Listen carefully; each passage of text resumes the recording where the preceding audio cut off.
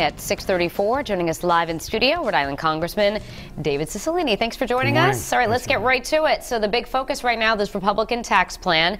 Uh, there could be a vote as early as tomorrow. How much of the bill have you been able to peruse through, and what are your thoughts at this point? Well, I mean, a lot of the bill hasn't changed. Again, it's a huge tax cut for people at the very top. 62% of the tax cuts go to the top 1%.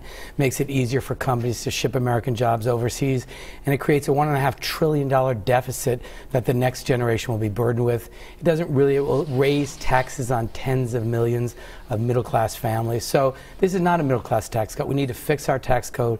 It should have been done in a bipartisan way. This is based on this sort of trickle down economics that if you just let people at the very top have more of their money, it's going to trickle down to the rest of us.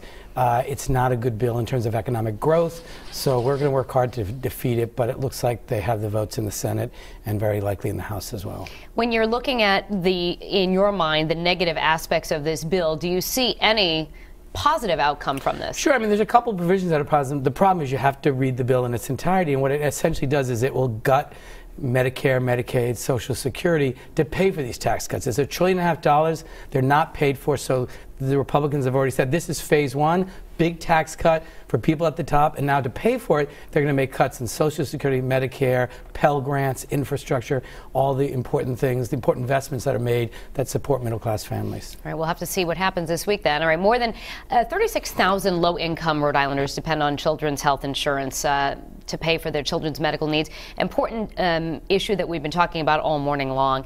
Are we any closer to renewing that funding Look, at all? this has always been a bipartisan effort. This is about insuring children, and 9 million children nationally, uh, over 36,000 here in Rhode Island. Uh, it has always been bipartisan. We're continuing to press in the hopes that we get it done this week.